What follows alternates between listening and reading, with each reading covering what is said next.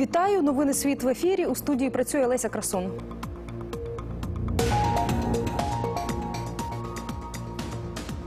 Знову на килим. Туреччина вдруге викликала російського посла для пояснень. Одразу в чотирьох іракських містах прогреміли теракти. Загинуло понад 60 людей.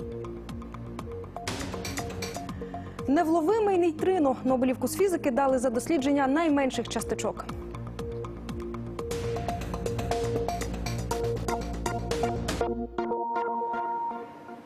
Росія в Сирії атакує не терористів, а цивільне населення та сили опозиції. Про це на прес-конференції у Брюсселі сказав ген- генсек НАТО Єнс Столтенберг. В альянсі стурбовані російськими бомбардуваннями. За минулу добу літаки Федерації здійснили 15 вилітів. Крім того, Столтенберг повідомив, що Росія в Сирії нарощує кількість сухопутних військ. Хоча ще на початку своєї операції у Кремлі переконували, що йдеться лише про повітряні дії. Росія не повинна створювати додаткового конфлікту в Сирії. Я закликаю Москву почати виконувати конструктивну роль у боротьбі проти ісламської держави. Слід обговорювати, яке політичне рішення допоможе розв'язати конфлікт у Сирії. Столтенберг також назвав невипадковим порушення російськими літаками повітряного простору Туреччини. Сьогодні Анкара вдруге викликала на килим російського посла, оскільки турецькі військовики знову помітили російські бойові літаки в небі біля своїх кордонів. Перший випадок був у суботу, і його в Москві пояснили помилкою через погану погоду. Друге порушення повітряного простору зафіксували в неділю. У Кремлі його поки що не коментували. А ось президент Туреччини Раджеп Ердоган уже заявив, такі незаконні польоти без уваги не залишаться і попередив, що дві країни можуть втратити дружні відносини. Газогін турецький потік буде не таким потужним, як Росія планувала раніше. Про це сказав глава Газпрому Олексій Міллер. Щороку труба пропускатиме 32 мільярди кубометрів газу, майже вдвічі менше ніж за початковим проектом. Для прикладу, всі газогони, які з'єднують Росію і Україну, пропускають майже в 10 більше палива. Побудувати турецький потік Анкара і Москва домовилися торік. Труби збираються прокласти по дну Чорного моря. Тож газогін ітиме до Росії з Росії просто до Туреччини, а далі до країн ЄС. У такий спосіб Москва хоче зменшити залежність від транзиту газу до Європи через Україну.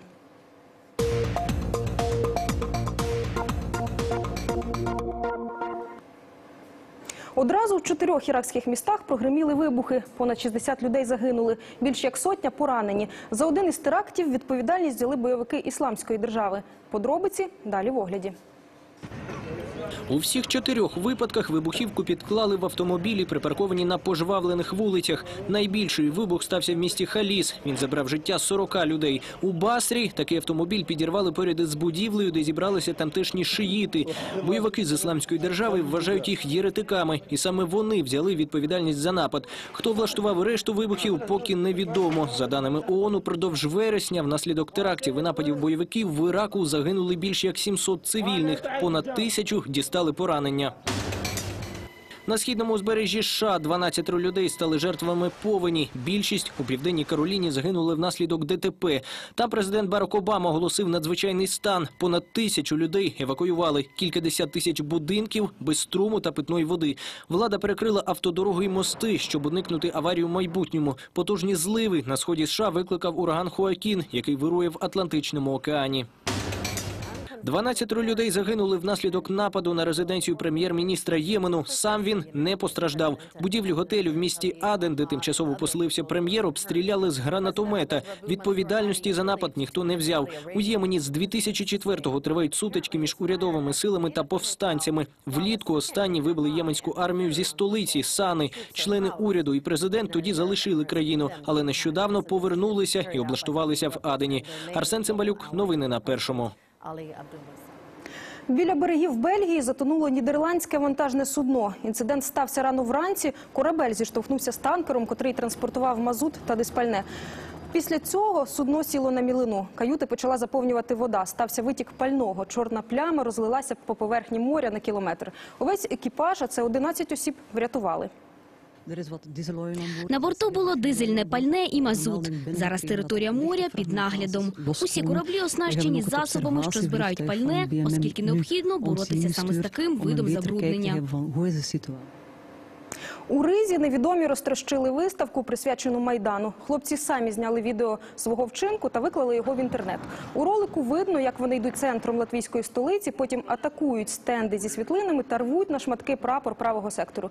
При цьому за кадром чути добірну російську лайку. Ризька поліція порушила справу за статтею хуліганство. Виставку Люди Майдану проводили біля латвійського будинку уряду. На ній показували світлини подій революції гідності. У Стокгольмі назвали нобелівських лауреатів з фізики. Ними стали японець Такаакі Кадзіта і канадець Артур Макдональд. Вони досліджували нейтрино, одну з найменших часточок у всесвіті, і довели, що вона має масу. Дослідження нейтрино в майбутньому можуть використати для створення новітніх систем зв'язку, за допомогою яких інформацію можна передавати глибоко під воду, наприклад, на, на субмарини, або навіть крізь усю нашу планету. Нагороду лауреати отримують у Стокгольмі 10 грудня в день смерті засновника премії шведського винахідника і підприємця Альфреда Нобеля. Каліфорнія бореться з посухою, найсильнішою за останні тисячу років. Влада обмежила використання води, а жителі дедалі більше пильнують за тим, скільки і куди її витрачають. Ще один спосіб економії – використовувати стічні води. Їх у Каліфорнії чистять так, що можна і газони полити, і їжу приготувати. Тим часом європейців хвилює не лише якість очищеної води, але й її ціна. Анастасія Синяговська розкаже більше. Американське місто Пало-Альто – самі садиби та маєтки. У кожного тут свій город і газон. Суха погода може триматися аж до листопада. Пересихають річки і водоспади. Городи нав'яне на траві, сонячні опіки. Водопровідний полив обмежено. Тож підприємці пропонують городянам купувати воду, якою вже користувалися. Рідину накопичують у спеціальних резервуарах, потім очищують. Для питної і звичайної режими різні. Усі наші клієнти переважно затяті садівники. Їхнє завдання – родючі городи і зелені газони. І ми можемо здійснити їхні мрії. Працівники розвозять галони з водою в поло-альто раз на тиждень. Та вільного часу майже немає. Замовлення надходять із інших міст. Невеликий тайм-аут лише після Геловіну в листопаді. Тоді в Каліфорнії розпочнуться осінні дощі. Вода коштує недешево – 2 тисячі галонів – 250 доларів. Але я готова платити. Поки у Каліфорнії користуються звичайними і переважно дорогими методами очищення води, на іншому боці Атлантики в Італії науковці дослідного центру ЄС щодня вдосконалюють ці методи. У них є лабораторія, резервуари і теплиці.